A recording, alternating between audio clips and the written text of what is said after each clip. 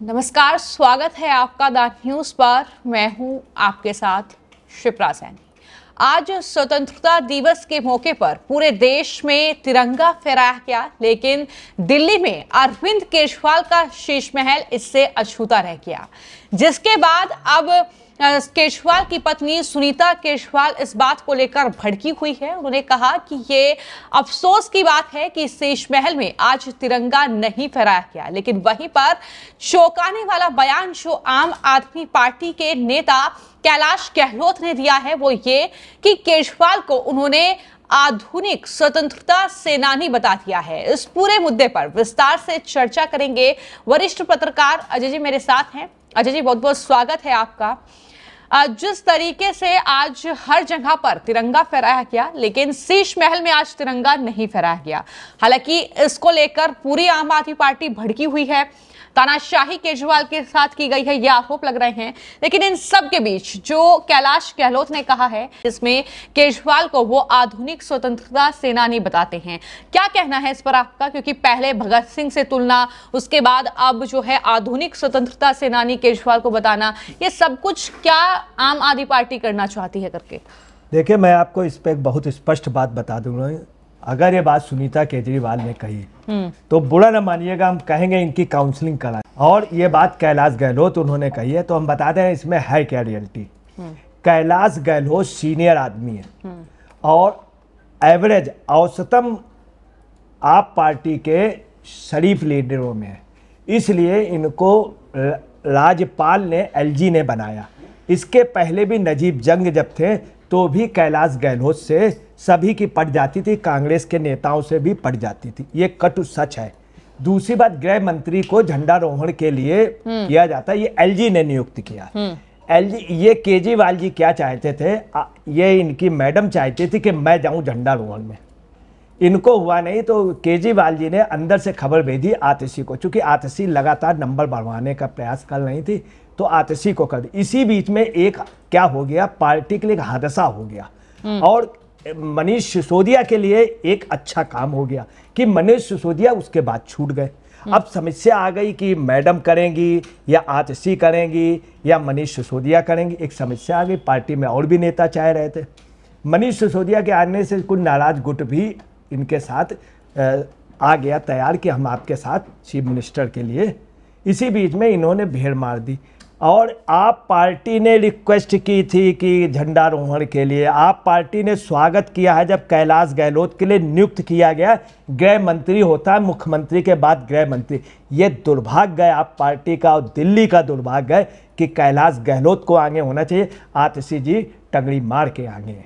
और और भी इनके लीडर जो हैं, वो बेवजह से आएँगे वो सब शीश महल से संचालित है। अब तिरंगे की जो बात है तिरंगे का झंडा का चूँकि कैलाश गहलोत को वहाँ कह दिया गया। हम्म। अब आइए बंगले की बात। बंगले का झंडा अधिकृत होता नहीं है कि वो मुख्यमंत्री या उनकी वाइफ भी कर सकती बंगले में हम्म। झंडा होता है हम्म। मगर वो अधिकृत नहीं होता अधिकृत होता है जो मुख्यमंत्री आवास का स्टेडियम स्टेडियम में इन्होंने फहराया हम्म। फहराने के बाद क्या हुआ कि इन्होंने जो बयान सीएम इन्होंने उन्होंने गृह मंत्री कैलाश गहलोत ने दिया ये कैलाश गहलोत का बयान नहीं आप पार्टी में सुनीता केजरीवाल की लिखी हुई स्क्रिप्ट है मैं आपको बता रहा हूँ अभी तक के इतिहास में 15 अगस्त और 26 जनवरी में न किसी राष्ट्रपति ने न किसी प्रधानमंत्री न किसी मुख्यमंत्री ने किसी विशेष पार्टी का नाम ले करके उसको ब्लेम नहीं किया हम्म। ये पहला बयान है कि वो जो हैं आधुनिक उसके वो थे स्वतंत्रता संग्राम सेनानी थे और उन्होंने बहुत काम किया है चौदह अस्पतालों का हम्म। नव निर्माण कराया ग्यारह नए अस्पताल ग्यारह नए अस्पताल खोले हैं और मतलब ग्यारह स्कूल खोले हैं हम्म। नौ चौदह अस्पतालों का नव निर्माण कराया वही मतलब उसी को रिपेयर कराया। हम्म। सिर्फ़ ग्यारह स्कूल खोले कोई बड़ी बात नहीं। ये सुनीता केजरीवाल ने बयान दिया अब आधुनिक स्वतंत्रता संग्राम सेनानी बतला रहे कितनी गलत बात है किस हिसाब से स्वतंत्रता संग्राम सेनानी केजरीवाल को बता रहे हैं। केजरीवाल को दिल्ली की जनता कह रही है शाकी हिंद। शाकी हिंद। इन्होंने शराब की ज़रूर एक वो करा दी मुहैया करा दी हर जगह भ्रष्टाचार रहा। ये हम्म। कहना है पानी मुफ़्त बिजली मुफ़्त पानी बिजली मुफ़्त नहीं है पैसा पड़ रहा है। हम्म। है? और इन्होंने जितनी कहा है कि बस मुफ़्त बस नहीं मुफ़्त है। हम्म। आपको बताना कुछ भी नहीं किया है। और ये स्वतंत्रता संग्राम किस आधार पर? आप सुने इस पार्टी की जो है कहना नहीं चाहिए जिस पार्टी में इतनी गलत फहमी हो अंबेडकर जी और भगत सिंह जैसे के बीच में किसकी? केजरीवाल की फ़ोटो सुनीता केजरीवाल। ये सब सुनीता केजरीवाल का दिमाग चल रहा। कहना नहीं चाहिए इन लोगों की काउंसलिंग होनी चाहिए कि थोड़ा सिस्टम रखें अभी यहाँ के नेताओं के बराबर रखें अपनों को शीला दीक्षित के बराबर रख लें चलिए अभी प्रधानमंत्री के बराबर रख लें मगर ये उतनी ऊँचा सोच रहे हैं आधुनिक स्वतंत्रता संग्राम से नहीं क्या इन्होंने किया? क्या आज़ादी के लिए किया? ये जेल किसमें गए? शराब की रिश्वतखोरी में जेल गए हैं। सीबीआई उन्होंने प्रूव किया लोगों ने सबूत दिया। कोई अच्छा काम ये और ये कह रहे हैं कि उन्होंने काम किया है काम करने वाले आदमी उन्होंने काम किया है काम क्या किया है? शराब में रिश्वत उसमें टैक्सी में रिश्वत बस में रिश्वत पानी में रिश्वत जल बोर्ड में रिश्वत हर जगह रिश्वत रिश्वत। तो कुल मिला के बयान जो उन्होंने दिलाया था इस चीज़ में ये बयान और पहला ये बयान है छ पंद्रह अगस्त को कोई मुख्यमंत्री इस तरह का बयान इतने निचले स्तर का ये कैलाश गहलोत की भाषा नहीं है ये जो स्क्रिप्टिंग है ये आप पार्टी में और सुनीता के अच्छा अब झंडा रोहण की बात थी ये बंगले में कर देती शीश महल में।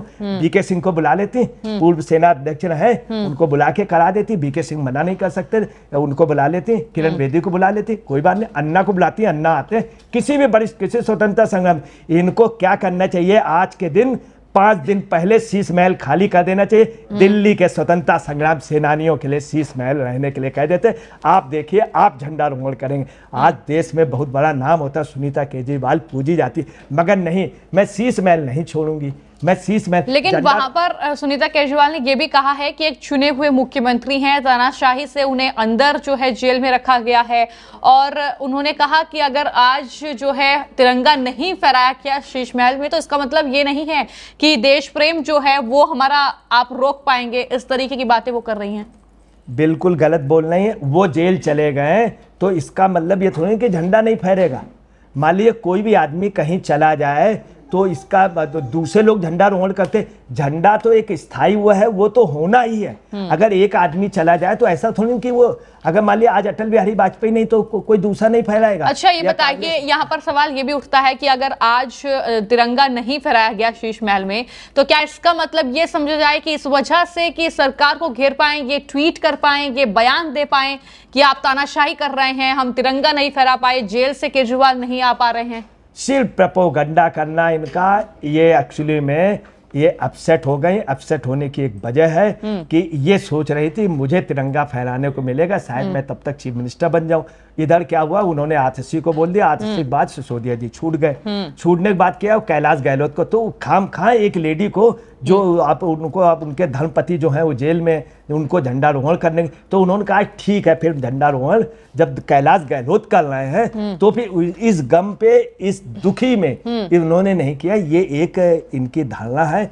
और ये इनकी निराशा है मगर झंडारोहण न करना ये इनका नैतिक दायित्व। था अगर नहीं कर पाई असफल नहीं इस पे कायदे से बेहद गलत बात है कि सबको हाथ पैर दिए हैं सब कुछ दिए हैं और झंडा रोहण नहीं कर पाई। इतना बड़ा आपके साथ सिस्टम है। पूरी आप वहाँ पे किस किस हैसियत से आप शीश महल में रहे नहीं? अगर आप रहे नहीं उनकी धर्मपत्नी के रूप में आज पति जेल में तो आपको झंडा रोहण करना चाहिए। ऐसा थोड़ी होता कोई भी झंडा रोहण में अगर कोई वो चला गया तो ये थोड़ी कि झंडा रोहण नहीं होता। झंडा रोहण एक परंपरा है कुछ तो होगी ही। तो ये इनका अच्छा, सिर्फ़ प्रपोगंडा यहाँ पर बीजेपी ने भी जो है जवाब दिया है और ये कहा है कि केजरीवाल जो है वो आधुनिक स्वतंत्रता सेनानी नहीं है। वो आधुनिक नादिर शाह हैं। तो कितना आप मतलब रखते हैं बीजेपी के इस बयान से कि वाकई जो कि बीजेपी बोल रही है सही बोल रही है? देखिए नादिर शाह से अगर आप तुलना कर रहे हैं तो ये नादिर शाह की तौहीन कर रहे हैं। नादिर शाह की में तब भी कुछ नैतिकता थी। नादिर शाह में तब भी नैतिकता था। नादिर शाह चिपका नहीं रहा। नादिर शाह लुटेरा था। मगर एक बार लूट करके चला गया। ये नहीं रहा कि बराबर हर जगह बस को लूट ले पानी को लूट ले ये पानी भी बर्बाद कर गया हो हर चीज़ बर्बाद कर गया ऐसा नहीं है। एक निश्चित टाइम था। ये तो लगातार पंद्रह साल से ये यहाँ की जनता दिल्ली की कह रही कि लूटी रहे हैं। इनके नेता कह रहे हैं इनके कार्यकर्ता कह रहे हैं। और ये तमाम घोटालों में जेल गए हैं। तो आपको बताना है नादिर शाह से तुलना करना नादिर शाह की तोहिन ये नादिर शाह से भी ज़्यादा बुरे हैं। नादिर शाह का तो एक छोटे से लम्बे का एक झोंका था। और ये तो झोंका नहीं है ये तो एक वो है जो लू उड़ती है लोगों को मार देती है। ये लू है जो तीन महीने तपिस की चलती है। ये लू तो बहुत दिनों से चल रही है। तो इस पूरे मामले को लेकर आपने वरिष्ठ पत्रकार अजय जी को सुना, जिस तरीके से लगातार आम आदमी पार्टी आज जो है स्वतंत्रता दिवस का ये मौका, जहाँ तिरंगा फहराया जाना था, लेकिन उन्होंने नहीं फहराया, सिर्फ़ इस वजह से क्या कि केजरीवाल जो है जेल के अंदर है, बीजेपी को वो घेर सके। तो इस पर आपने वरिष्ठ पत्रकार अजय जी को सुना है, उनकी राय जानी है, उनका कहना है कि अगर केजरीवाल नहीं थे तो ज़ाहिर तौर पर सुनीता केजरीवाल जो कि शीश महल के भीतर रह रही हैं, वो वहाँ पर ध्वजारोहण कर सकती थी, लेकिन उन्होंने नहीं किया। इसके पीछे भी आम आदमी पार्टी, कोई साजिश, कोई षड्यंत्र ज़ाहिर तौर पर रच रही है, इस वजह से ऐसा किया गया है। फ़िलहाल आपकी इस पूरी खबर को लेकर क्या राय है? मैं कमेंट बॉक्स में ज़रूर लिखें